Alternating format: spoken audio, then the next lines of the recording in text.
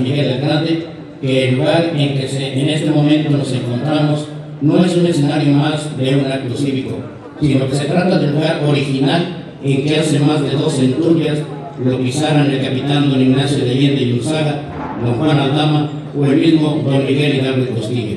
Por tanto, a nombre de las maestras y maestros de la secundaria y licenciado Rubino Zavala Camarena, invito a todo aquel que me oiga para que celebremos con mucho orgullo el Día de la Independencia de nuestro país, pero no con una banderita, sino con un cambio de cultura y mayor educación que nos lleve a una nación libre de violencia.